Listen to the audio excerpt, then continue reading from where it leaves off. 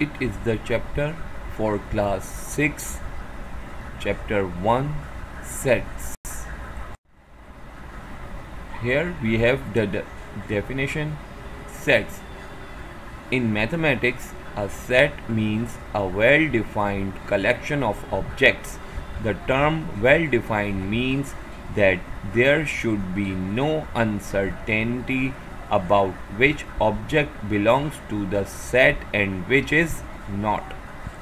Now write the examples after the definition. The set of natural numbers from 1 till 10. Answer n is equals to bracket 1 2 3 4 5 6 7 8 9 10 bracket close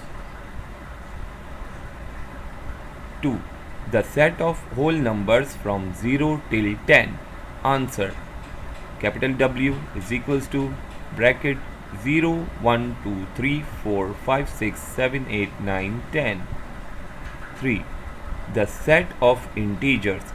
Negative and positive real numbers. Answer. Z is equals to minus 3 minus 2 minus 1 0 1 2 3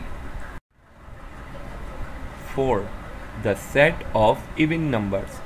Answer E is equals to bracket 2, 4, 6, 8, 10, 12, 14, 16, 5. The set of odd numbers. Answer O is equals to bracket 1, 3, 5, 7, 9, 11, 13, 15 after after writing the definition of sets then write types of sets. Number 1 finite set. Number 2 infinite set. Number 3 empty void null set. Number 4 singleton or one unit set. Number 5 equal sets number 6 equivalent set.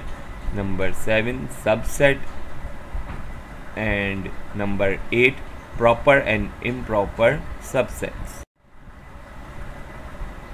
Finite set A set is said to be finite if it has no definite number of elements in it. That is, its elements can be counted. Example A Continents in the world. There are only 7 continents in the world so it is finite set b factors of 10 1 2 5 and 10 there are four factors. So it is a finite set. Natural numbers less than 55 it is the limit of 55 so it is the finite set. Infinite set a set is said to be infinite if it has an unlimited number of elements. The elements of an infinite set cannot be counted and the process of counting never comes to an end. Example for infinite set is number 1 n is equals to stars in the sky. We cannot count stars so it is an infinite set. H multiples of 10 so multiple means table. So from which number you can stop you cannot say. So it is a finite infinite set. J number of trees in the world. Because the world has countless trees so it is an infinite set. Empty, void, null set. A set which contains no element in it is called a null set or void set or an empty set. It is denoted by a pair of curly braces with none of the elements in it or by the symbol phi pronounced as phi. Here it is mentioned in blue highlighted letters. Singleton or one unit set. A set containing exactly one element is called a singleton set. Example for singleton set is A. Only even prime number which is 2. B. Nobel Prize winner of Pakistan, Dr. Abdul Salam. It is a singleton set. Equal set. The two sets are said to be equal if the element of both the sets are identical. That is, any element of A is an element of B and any element of B is an element of A. Here we have the example in blue highlighted A is equals to T E A and B set has E A T. The element of set A and B are identical. So symbolically we can write A is equals to B equivalent set. The two sets are said to be equivalent if the cardinal number of both the sets are equal. Here we have the example for A prime numbers less than 4. Prime numbers less than 4 are only 2 and 3. So cardinal number we can write n bracket A bracket close is equals to 2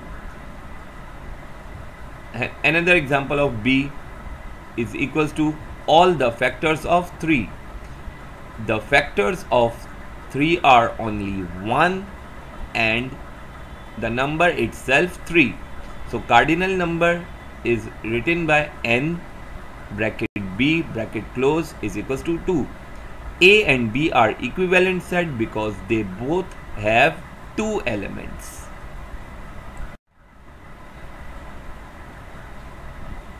cardinal numbers. The cardinal number of a finite set is the number of distinct elements in the given set. Example C is equals to 1, 2, 3, 4, 5. C has 5 elements in it. The cardinal number of set C is equals to 5. Symbolically we can write n bracket C bracket close is equals to 5. Subset Set A is a subset of set B if each element of set A is also an element of set B. For example, A is equals to set A has 1 and 2 and set B has 1 2 and 3. Every element of set A is present also in set B so that A is small and B is big. Set A is the subset of set B. Symbolically we can write A subset B. Superset. Set B is a superset of set A if each element of set A is also an element of set B. For example, A has 1 and 2 and B set has 1, 2 and 3. Every element of set A is present also in set B so that A is small and B is big so that set B is the superset of set A. Symbolically, we can write B superset A. Proper and improper subset. A is a proper subset of B implies that A is contained in B and there is no element of B that is not an element of A. Symbolically, we can write a is the proper subset of B. Here is the summary of set symbols. You can easily learn from it.